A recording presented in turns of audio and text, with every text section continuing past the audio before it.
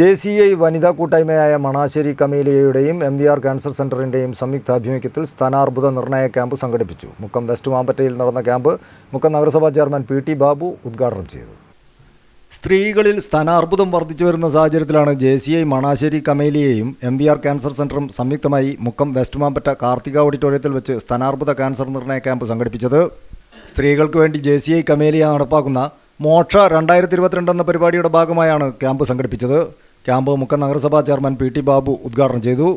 വർത്തമാനകാലത്തിൽ cancer രോഗികളെ കണ്ടെത്താനുള്ള നൂതന സംവിധാനങ്ങളുണ്ടെന്നും എന്നാൽ ഇത്തരത്തിലുള്ള പരിശോധനകൾക്ക് ആളുകൾ വിധേയരാവാത്തതാണ് വലിയ ദുരന്തത്തിന് കാരണമാവുന്നതെന്നും പി ടി ബാബു ഉദ്ഘാടന പ്രസംഗത്ത് പറഞ്ഞു.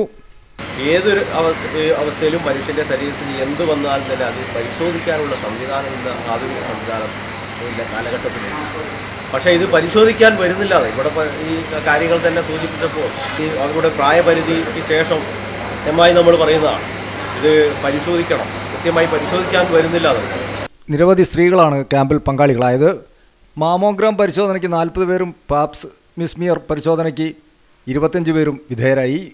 കമേലിയ പ്രസിഡന്റ് സിനി മാത്യു അധ്യക്ഷത വഹിച്ച ചടങ്ങിൽ M V R cancer care പരിപാടിയുടെ coordinator Shaji M G M V R community oncology വിഭാഗം മേധാവി ഡോക്ടർ നിർമ്മൽ സി തുടങ്ങിയവർ ക്യാൻസർ ബോധവൽക്കരണ പ്രഭാഷണം നടത്തി.